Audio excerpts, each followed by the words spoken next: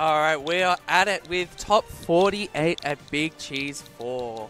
How we're all doing, everyone in the chat. I hope we're all having a wonderful afternoon. It is now 12, 12 13 Adelaide time. If you're in Victoria, that'll be 12.43. We have a very interesting set coming up. We have Jacko versus Fumble. Now, I'm not sure who Fumble plays, but I know that Jacko is a cheeky Kong. So, some interesting things. I'm going to backfill for five minutes until your other co commentator gets here. I'm going to fill the space. So you get, you guys get me for like a game or two. It's going to be very exciting. Now, Oh, guys, I've heard a rumor about Big Cheese 5. Now, I would like to preface this by saying I'm not, I'm not affiliated with SA Smash, but I heard for Big Cheese 5, if it happens, let me ask you a question. What's the first thing you think of when you think of cheese? South Australia. The smell, of course. Okay, sure. Yeah, yep, yeah. smell. what is one thing Big Cheese is missing? The smell of cheese. Oh no. so we can go two two methods. This is what I'm uh, this is what I'm hearing. Of course, I'm not making any of this up. It's either going to be scented candles and nacho cheese, or what we do is we get some some real fancy smelly cheese, put it under the monitor, so that each each player gets the aromatherapy of cheese.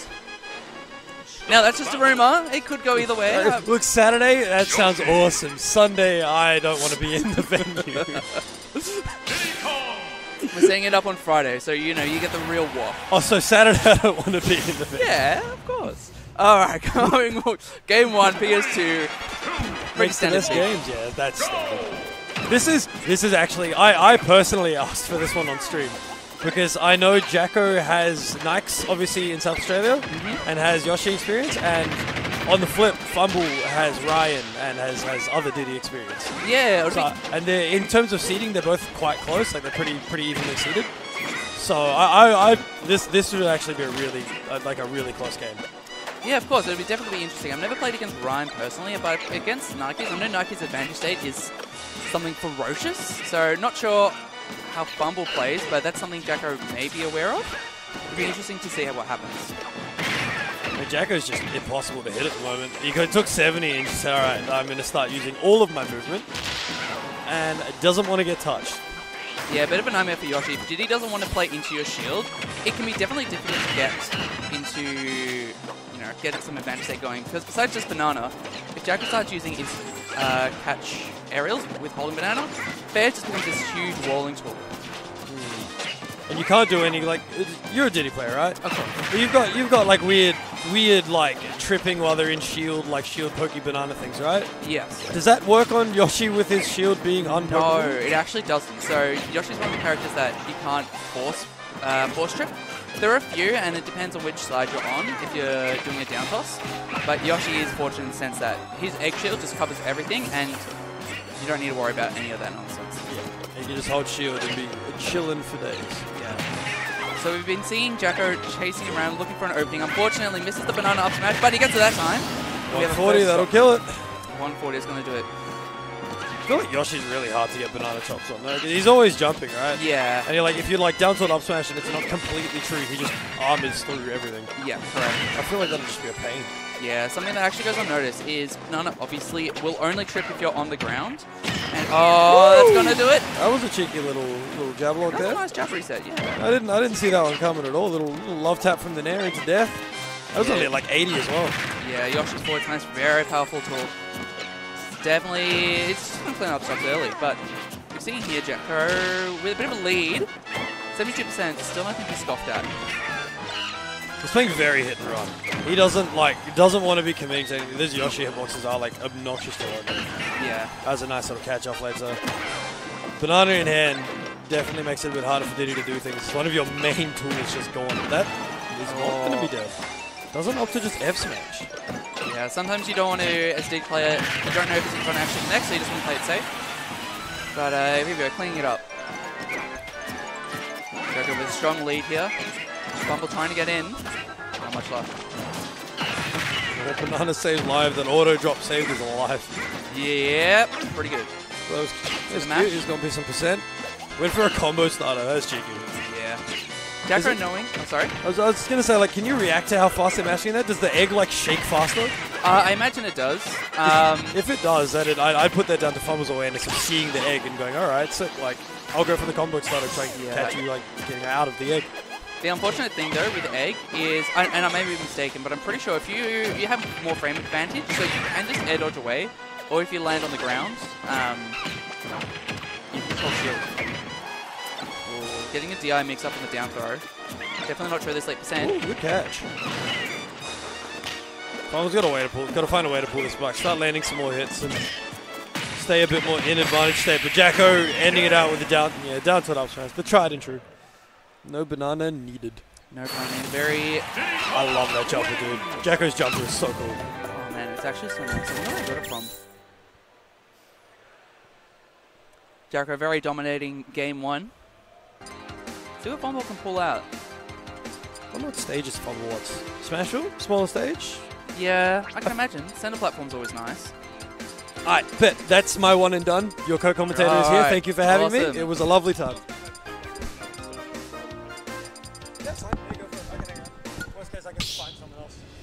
I've lied to you so fast. Ferrero share and bracket?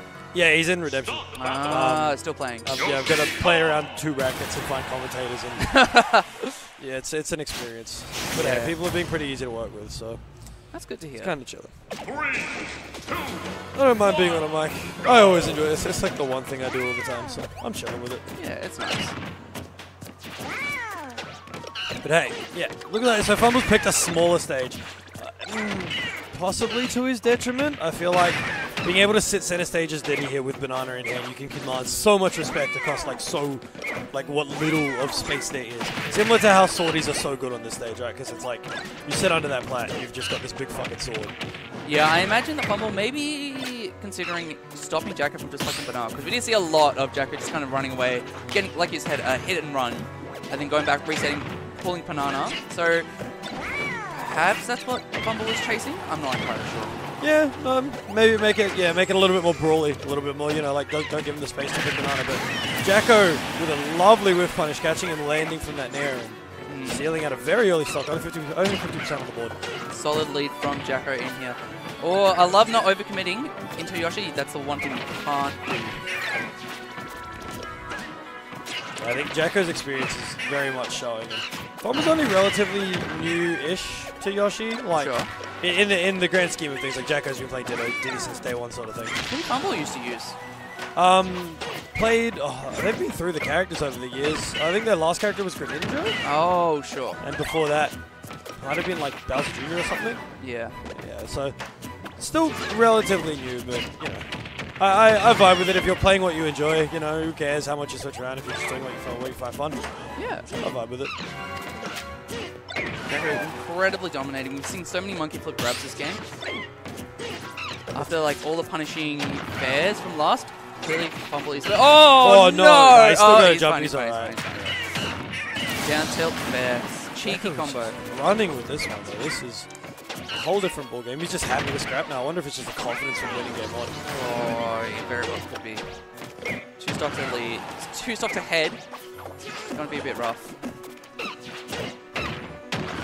Hey, look, uh, we've seen the like explosive kill power of Yoshi in super early percents. This is still definitely very winnable. I like this egg toss usage now. Not committing off the stage, trying to hold stage presence and just Just taking it easy, taking a breather. annoying him with egg toss, stopping like you know three percent, stopping him coming back. He's got to find an opening to kill, take the stock out before too much percent gets racked up though. Yeah, Jacko moving around. There we go. Oh, Beautiful use of that banana against Diddy. That's going to seal out of stock now. You've only got to climb back one somehow. You know, and, uh, Yoshi combo, especially on Smashville with a center platform, you can get a 0 to 70 super easy. And speaking of, here we go, big damage, 30%, not bad. I mean, if, if Fumble catches this Diddy off stage once, it's dead. It's Oh, nuts. Like, you'll kill the Diddy so I- well. Ironically, I found as Diddy, it's scariest being off stage below 40% because if you get hit with a no knockback move, you just die. yeah, it just drops the barrels, right? You don't actually go anywhere, and you, you You just plummet to your doom, yeah. Jacko losing a bit of momentum here. Monkey flip kick, gonna regain center stage.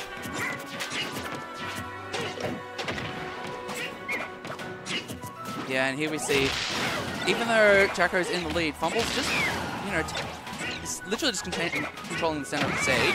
Yeah. preventing Jacko from landing at all. Jacko in a bit of a pickle here.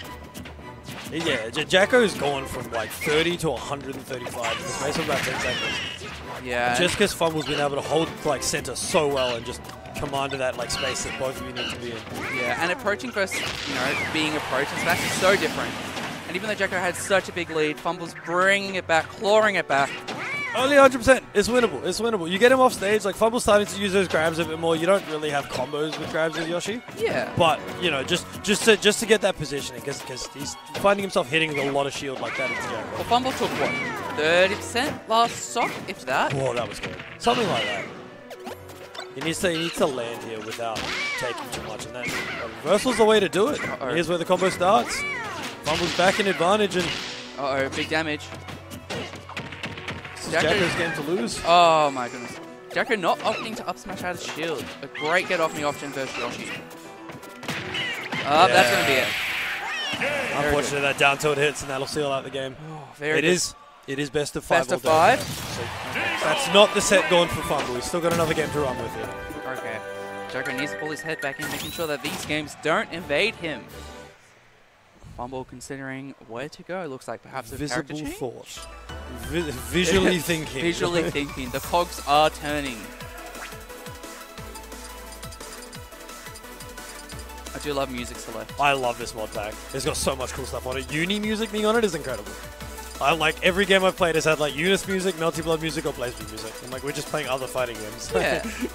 also love how there's like so many hidden tracks that aren't in the main game. Like Sonic has what 105 now. yeah. There's like hundred Final Fantasy songs. It's someone I, I walked in the other day and someone was playing like a Final Fantasy 13, like a super obscure like song that plays in one area of the game. And I was like, oh my god, like someone else knows this? Like, That's so good. Remember when Final Fantasy only had two tracks? oh my god. Oh, what a nightmare. Sadness. And then with with Sephiroth we got another like five. All right, here we go. Game three. Smashing it out. Yoshi versus Kong. A bit of a longer stage than Smashville. Yeah, very very similar, same, same layout, but this one gives a little bit more space at least, and a little bit more. Even even those walls, like I, I don't know if Yoshi has a wall jump. I'd assume not, based No. I don't imagine. But it, it gives it, it opens up like wall clinging and all those little things for uh, Jacko if he wants to. If he really gets into a pickle and needs to make use of those, so little mechanics that can come in handy. I just realized. Oh no, this was not Jacko's camera. No, no, this was fumbles. So I, I think Smashville would have been banned, and Fumble just picked the next like closest thing. Yeah. Personally, I don't like the stage much as Diddy. I, I feel like it has merit. It is essentially FD with a center platform, but yeah, I don't know. It just feels a bit awkward. It's just a little bit polarizing. It's the same same concept as Smashville. If you control that center area and you just kind of, if you're not like on like in center stage, you're in disadvantage. Yeah. And it's kind of just, eh. But hey, it's a much more even game. Losing it stock to down here at like 140, that's fine. It's gonna happen. Yeah, that's that's fine. It's just, yeah, like this Diddy's in very much in kill percent. Yeah. I don't quite rate Jacko's holding banana at ledge and shield. It's not. Yoshi can get away with it just with a, a free jump or a drop down there. But, um, yeah. Fumble catching the landing, cleaning it up, making it a more even game. Much Just to jumps game through the dash attack. God, that's so great. Ooh, that's a cheeky little catch though. No access to banana now. We're using Z-drop aerials and everything, keeping it away from this Diddy as long as he can. Beautiful roll read, racking up set. Jacko is panicking. These air dodges do not need to be done. looks to me like uh, like uh, Fumble's kind of um warmed up a bit. You know, it looks like the nerves have been shaken off. Yeah, there's, there's those on-stream nerves do have, especially at a major, right? Like oh, 100 percent. they they kick in, and I, f- I- I feel like yeah, he's, he's definitely warmed up. But I think Fumble Fumble might be one of those players. I don't know too much about. Like I've played some friendlies with him, but I don't know too much about them in tournament. But they might be one of those players that kind of take a couple games to like warm into what they're versing and click onto how to Yeah. deal with things. And you know, one of those reverse 3-0 monsters that you see all the time. I think that that could be very much Fumble's thing, but.